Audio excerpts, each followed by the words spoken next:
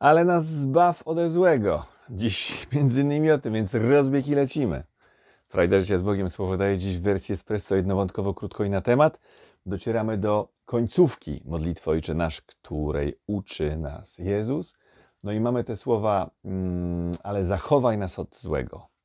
W oryginale czytamy tutaj, że jest użyte słowo, w tłumaczeniach polskich mamy zachowaj nas od złego, między innymi, a tutaj jest słowo, które oznacza przyciągnąć do siebie, uratować, oswobodzić.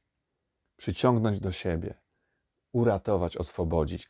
Więc kiedy modlimy się, Ojcze nasz, e, ale przyciągnij nas do siebie, od złego do siebie, uratuj nas, żebyśmy doświadczyli Twojego oswobodzenia.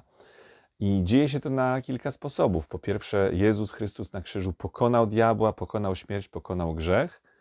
I kto zaprosi Jezusa do swojego życia, kto żyje zgodnie z Jego nauką, ten zaczyna tego doświadczać coraz bardziej i bardziej, chociaż, drugi element, żyjemy w świecie, który jest jeszcze tym złem przepełniony.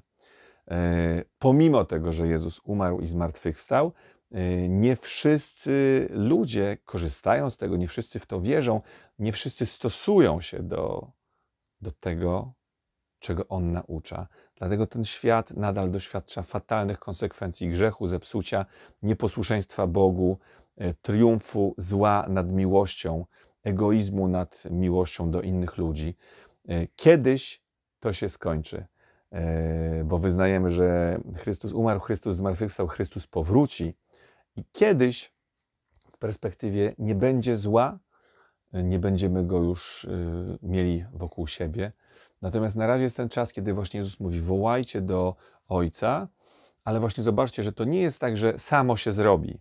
Dlatego, że Jezus na przykład jasno powiedział: Kiedy widzicie kogoś chorego, uzdrawiajcie w moje imię, ogłaszajcie uzdrowienie. E, kiedy widzicie, że ktoś cierpi, przeciwstawiajcie się złu. Kiedy diabeł jak lew ryczący krąży, szukając kogo pożreć, tak czytamy w liście Jakuba, w e, liście Piotra, e, mocniej w wierze przeciwstawcie się jemu. Więc y, to uwolnienie y, od zła y, dzieje się też, gdy korzystamy z tego, co Bóg nam dał. Więc to nie jest tak, że, że, w tej modlitwie wszystko zwalamy na Ojca, ale też możemy sobie przypomnieć, jakie łaski, jaki autorytet, jaką władzę wierzącego daje On tym, którzy wierzą w Jezusa Chrystusa, który pokonał śmierć, pokonał szatana. Warto więc zastanowić się nad tym, jak ja funkcjonuję. Czy żyję w strachu przed złem? Jak widzę w kontekście zła siebie? E, jaką widzę pozycję Boga? Jest ten taki paskudny mem, gdzie widzimy szatana, który siedzi z Jezusem i, i siłuje się z nim na rękę. To jest fatalne kłamstwo. Diabeł jest stworzeniem, jest upadłym aniołem, nie może się równać z Jezusem, który prawdziwie jest Bogiem. Więc bardzo ważne jest, żebyśmy odświeżyli sobie tę perspektywę, że Bóg jest większy, i że w modlitwie Ojcze Nasz mówimy: Ojcze, przyciągnij nas do siebie, uratuj nas od złego, ale jedną z tych dróg ratunku jest imię Jezusa Chrystusa, które możemy wypowiadać, którego możemy używać w modlitwie i w ten sposób bronić przed złem siebie i innych. I to już jest praktyka życia wiary, której możemy się uczyć każdego dnia. Pomóż nam w tym Duchu Święty.